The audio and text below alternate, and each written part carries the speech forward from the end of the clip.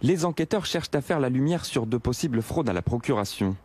Des investigations lancées par la procureure de Marseille suite aux révélations de l'hebdomadaire Marianne et du journal de France 2, selon lesquelles deux colistières de la candidate Martine Vassal ont proposé à des électeurs des procurations simplifiées sans respecter les procédures habituelles. Des révélations qui indignent le candidat du Rassemblement national. C'est la norme chez ces gens-là que de frauder, que de tricher, que de mentir. Il était temps que la justice s'en mêle parce que nous avons déjà subi, euh, avant le premier tour, de la part de l'équipe Vassal, une campagne de voyous.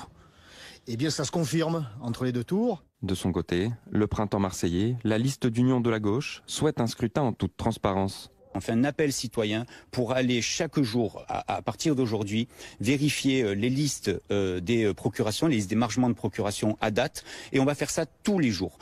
notre objectif à nous, c'est qu'on ait un scrutin qui se passe le mieux possible le 28 juin prochain. Chez les Républicains, Yves Morène, maire de secteur et soutien de Martine Vassal, reconnaît avoir démarché des électeurs par mail pour leur proposer de les aider à faire une procuration.